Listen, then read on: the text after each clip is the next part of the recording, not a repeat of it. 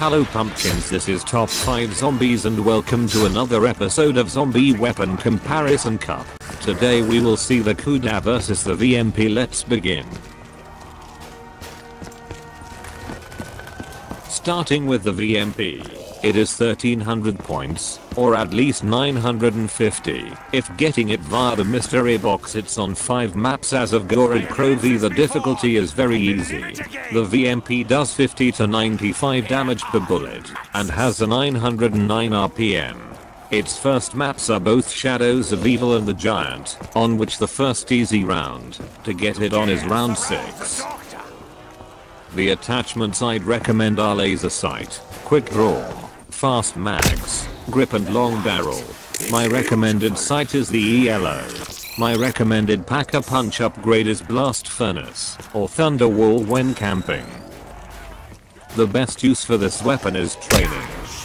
My recommended perks for this weapon are quick revive, juggernog, speed cola and double tap to on solo. On multiplayer I recommend juggernog, speed cola, double tap and stamina. Now onto the Kuda. It has 30 bullets in a clip with 210 in reserve. It costs 1250 points or 950 plus. If in the mystery box, it's in 5 maps as of Gorod Krovi. It is easy to retrieve. It does 60 to 110 damage and has a RPM of 722. Its first maps are Shadows of Evil and the Giant. The first easy round to get it on is 3. The attachments I'd recommend are laser sight, quick draw, fast mags, grip and long barrel. My recommended sight is the ELO. My recommended Pack-a-Punch upgrade is blast furnace or thunder wall when camping. The best use for this weapon is training.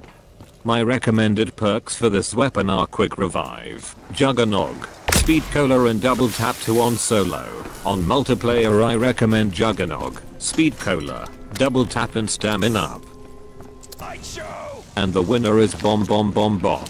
The VMP, because it is better for points than the Kuda, it also has more ammo and has a higher fire rate. Thanks for watching. Remember to like, comment and subscribe. Hope you enjoy.